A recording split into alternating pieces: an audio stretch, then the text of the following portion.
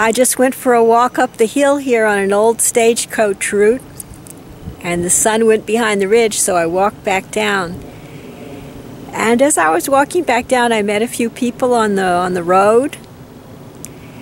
And the last couple of people and the last couple of dogs that I ran across, right after that, I had a, like a message from, from the divine.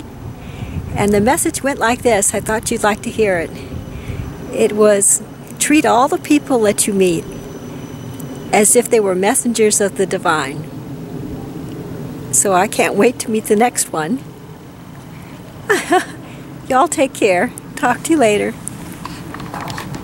I think I just missed one.